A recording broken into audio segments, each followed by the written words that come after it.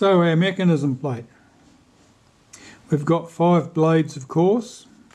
The blades are all the same with the exception of the first blade. And the first blade, which is that one, is has an extra hole in it to identify it.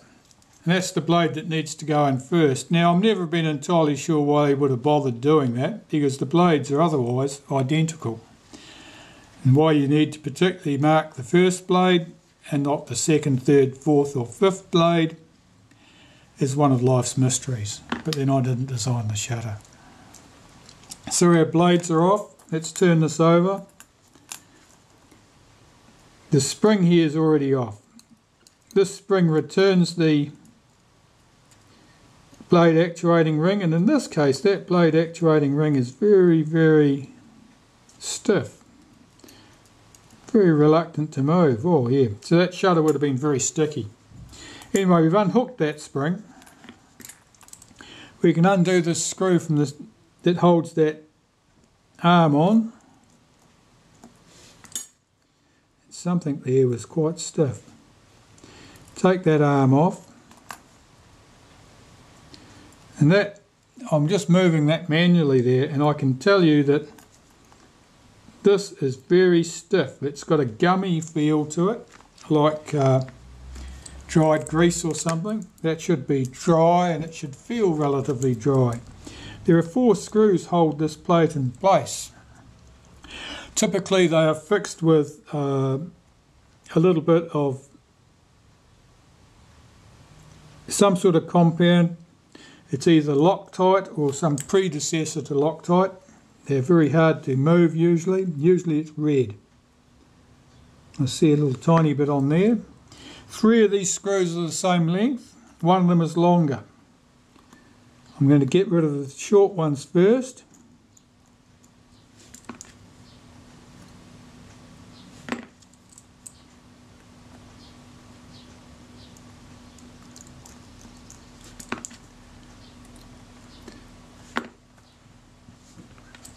I'm keeping a lot of downward pressure on my screwdriver when I turn it to get these screws out. They tend to be very tight and easily damaged so you don't want to slip your screwdriver out of them. This will be the longer screw.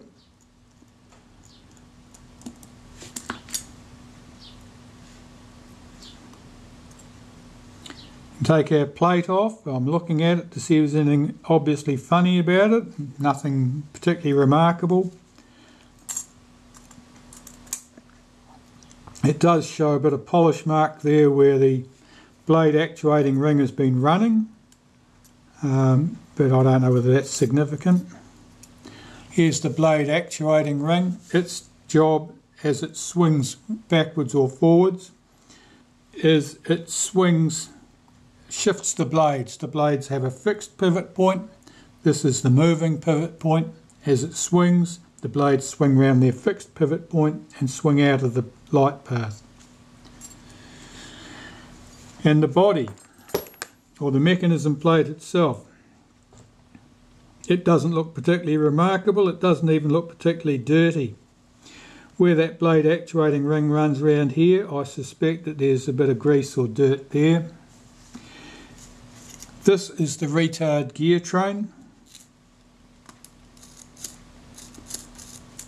You can remove it from the mechanism plate to clean it, but that's a bit fraught and I don't do it. I clean it on the plate.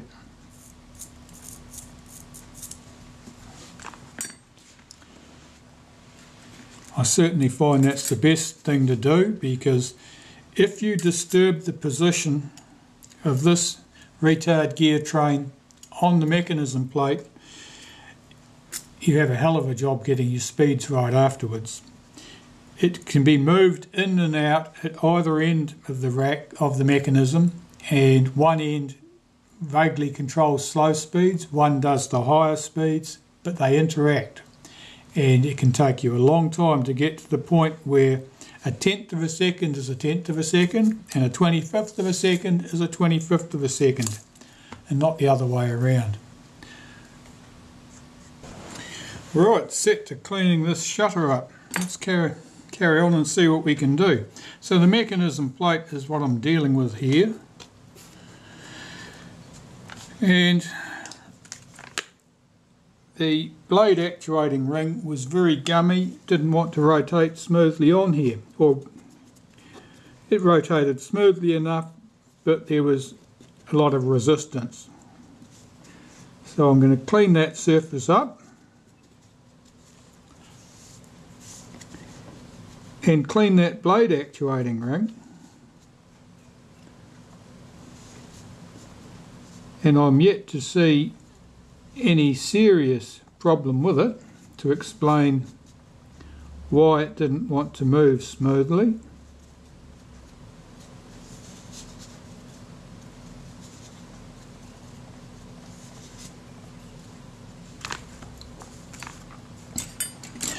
So having cleaned that, I'll just pop it into position and I'll see if there's any obvious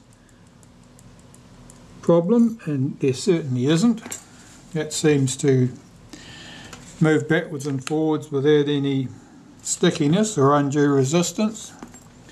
So we'll deal with this plate.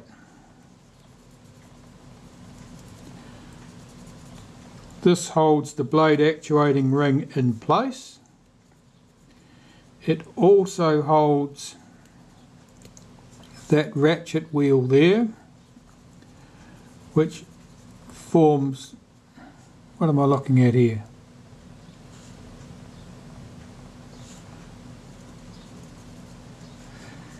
Trying to remember what that part actually does. Is that a ratchet wheel for our yes that forms part of the flash.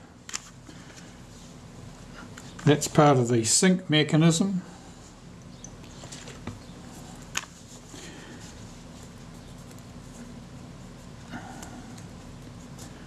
The pins visible on this plate are the fixed pivots for the shutter blades. So the shutter blades pivot around those points.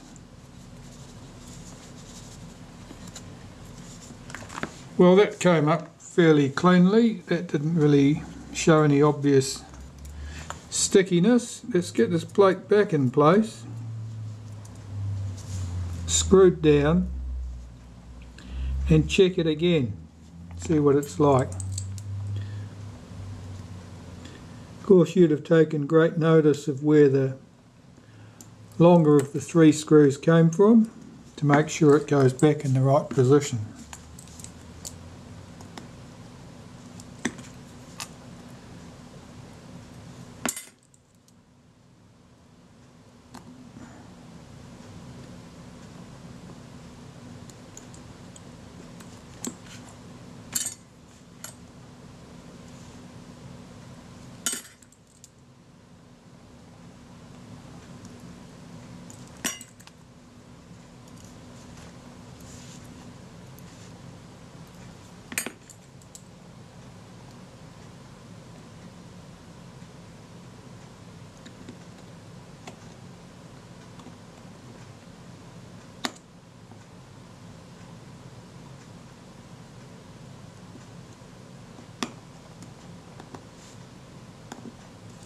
Check that each of the four screws are done up tight.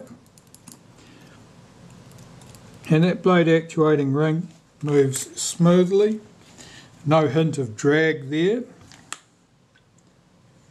So there was some contaminant that I didn't notice was causing that problem and something that cleaned away very easily. So the prime suspect remains grease or oil or something of that nature. Yeah. This lever, I normally put a wipe of molybdenum on the pivot and in this slot where it picks up the pin on that blade actuating ring and shifts it backwards and forwards.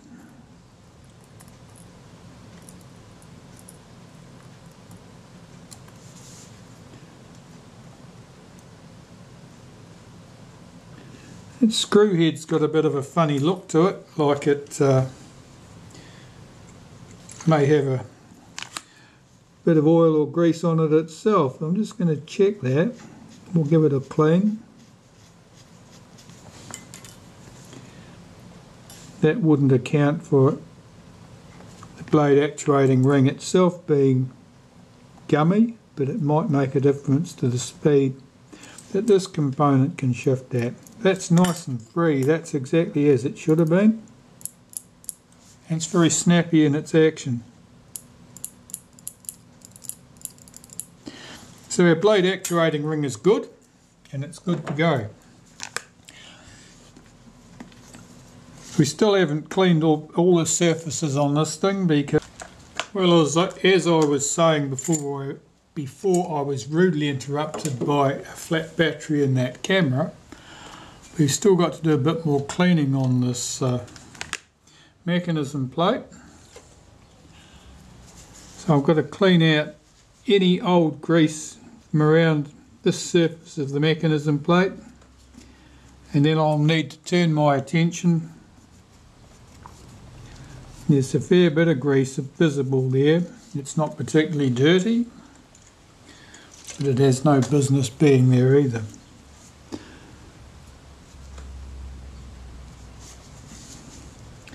and I've got to turn my attention to cleaning the retard gear train and we can do that about now I think. So as I was saying earlier I do not remove the retard gear train from the shutter mechanism plate to clean it. Normally I clean it in place with a little bit of solvent and work it numerous times to make sure that any contaminants on the surfaces, the working surfaces, are all washed away.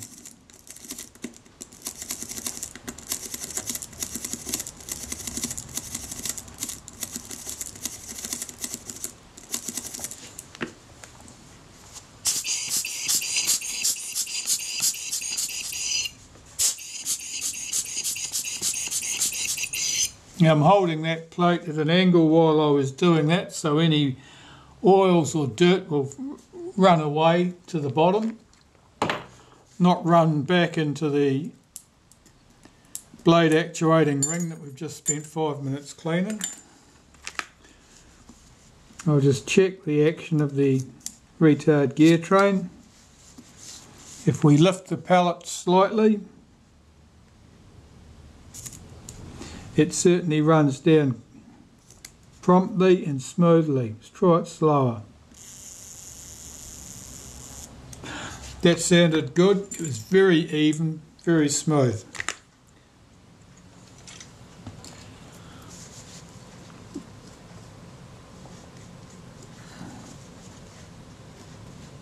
A few fingerprints on the top of that and I'm not sure whether they were mine or somebody else's. If they were somebody else's, they'll be etched in there because they'd be very, very old.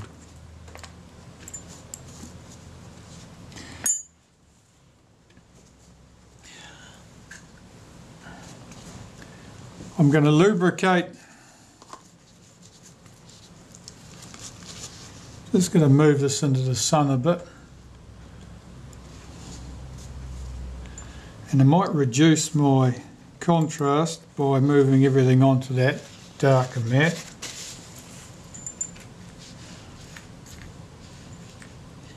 And I'll bring back the paper to work on when I need it. Just moved around to the sun. The sun's just moved around. It's quite bright here at the moment. I'm going to lubricate my retard gear train with a little bit of graphite powder.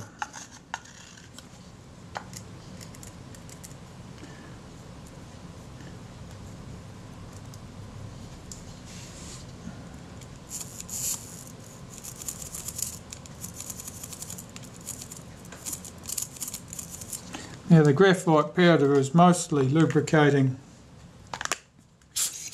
the working surfaces of the teeth of the gears there really, where they run over each other.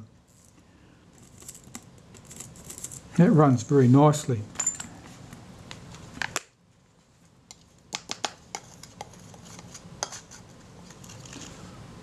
I'll do the same for that blade actuating ring.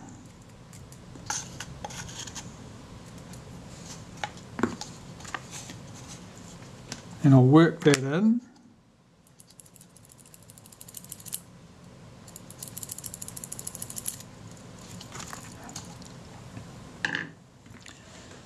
Blow all the excess out.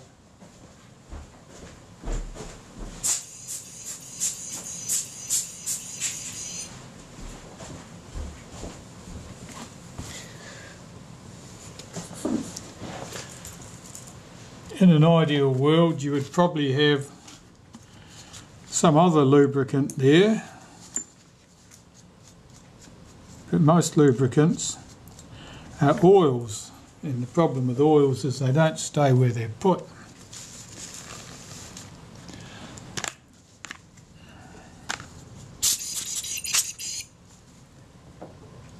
everything should work nice and snappily on that mechanism plate now it does. And our retard gear train. Oops, caught on the end of a spring there.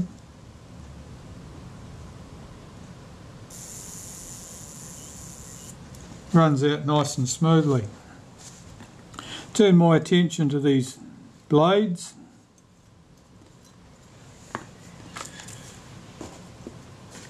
These need to be swabbed clean. Once I've cleaned them with a bit of lighter fluid, I'll have a better idea of the state of them, whether they show any serious staining or corrosion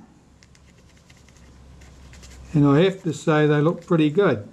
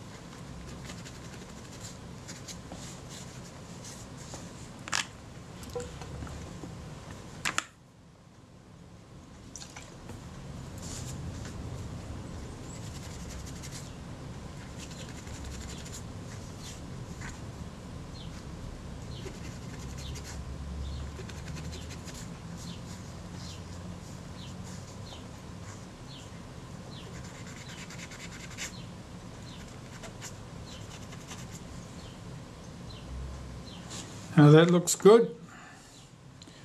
I'm going to uh, reassemble the blades, put them back in place and we can close this shutter up. So first I'll see if I can refocus this. We want to zoom in a bit. Right, that looks like that'll work there. So, I need to unhook the spring from the blade actuating ring lever and pull the blade actuating ring around so it's at the position where the shutter blades will be fully open and then put the blades in place. One of the blades had an extra hole in it which was put there to identify blade number one and blade number one fits here.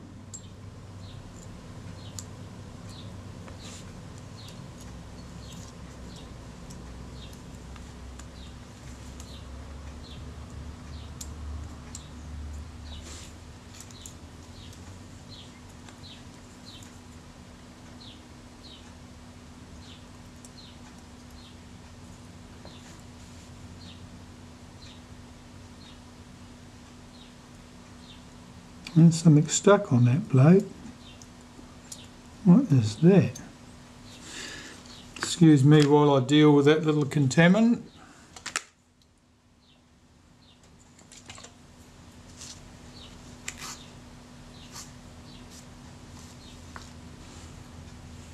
No, don't know what that was. It's a tiny fleck of something that was stuck on there. It's gone now.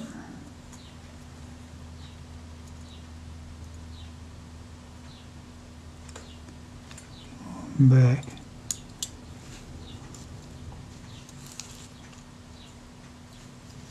Ah, that was a thread of glue. And I presume that came off that piece of paper.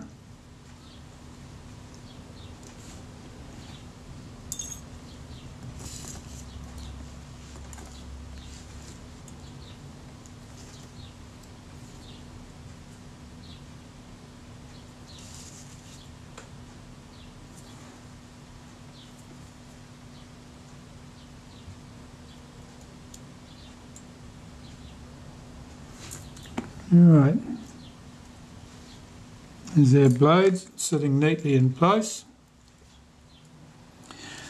And we can put the shutter case on top now.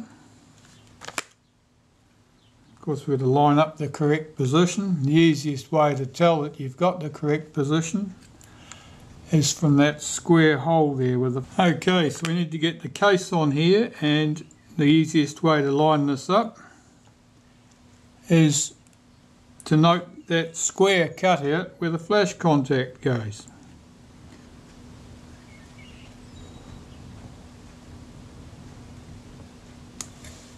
And I've got this sitting on the edge of the block rather than the middle of the block because of the aperture setting lever protrudes out the front. Now we want the screws for this. There are three screws for the case. And I'll run one screw in and then we'll check that everything's in place. Turn it over. Check that the blades swing back into place. Hook our spring back over that lever.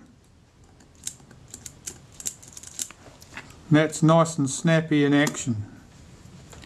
So now I can put the other two screws in and tighten them all down.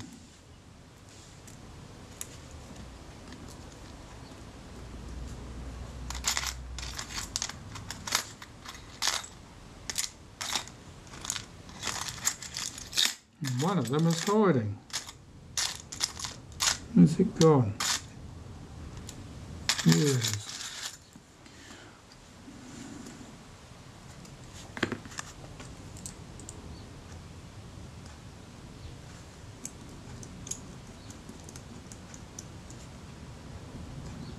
To get all three screws in and seated then tighten them up.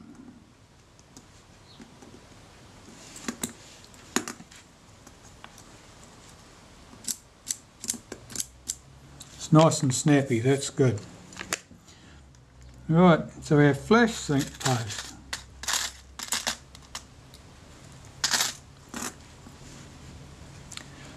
There's the earth contact goes on the plate there and our plastic flash sync contact here. This is the fixed contact. Now there should be a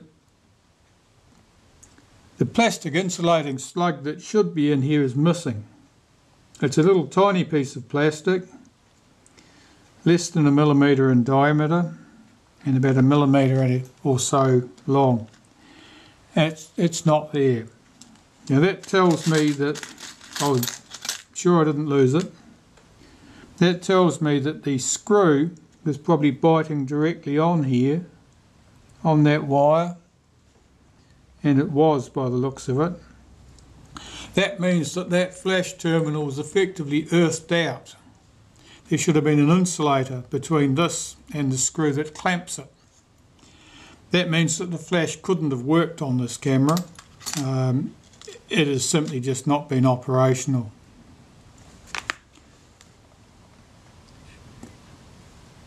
And that would date from the time the shutter was previously serviced, I would think. So I'll get that flash contact in place. We're going to have to or I am going to have to make a new plastic slug as the insulator in there.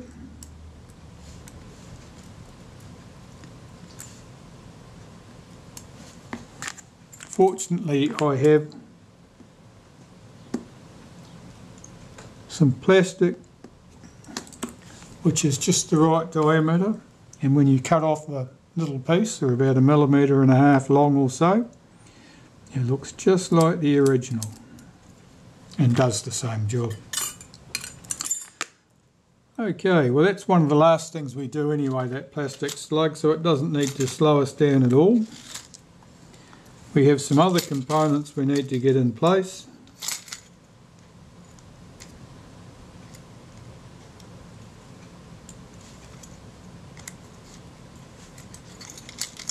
These are other the other flash components and for the flash sync. Our high speed spring for the 150th, 1 500th of a second.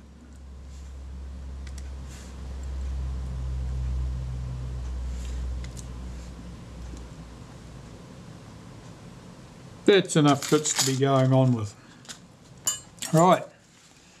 So I'm going to clean those parts first. And I'm just chasing the sun around here, so let's move back into the shade a bit, I think.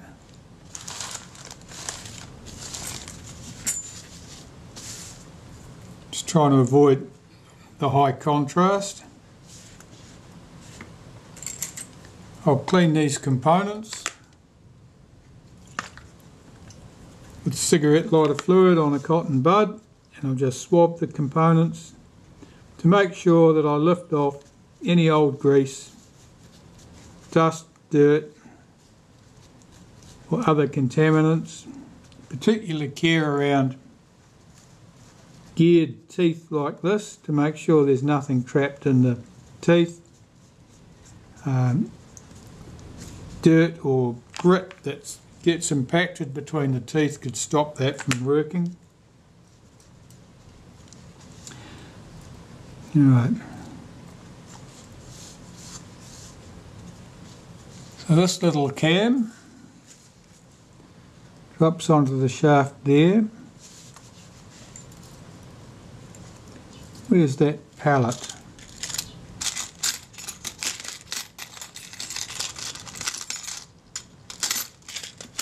I'll just cover it over with something. There it is, hiding. that little pallet goes on here.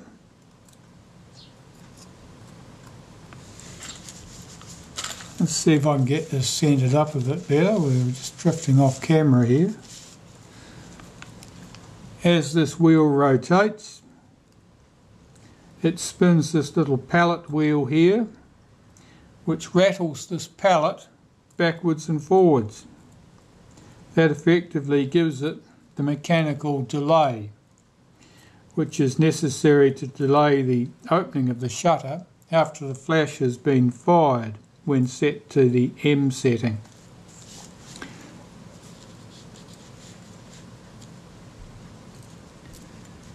Now our flash contact here has these two components. Where are we? These two components one is the moving flash contact, one is the lever that moves it, and that needs to be threaded through underneath there. And these are always fun to get back together if they've come apart.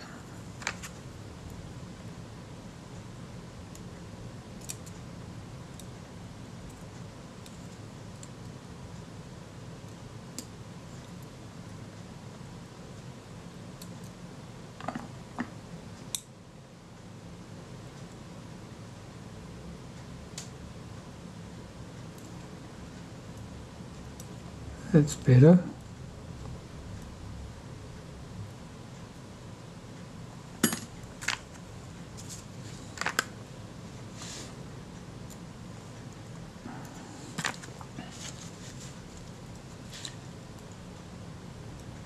this spring is the 500th of a second speed spring and it just provides extra impetus to the blade actuating ring when it's engaged to speed the shutter up so it can actually achieve something like the 500th of a second speed that they advertise and which is probably more like a 400th of a second in reality. So that's sitting there in place. And we should have a small screw to hold that in position.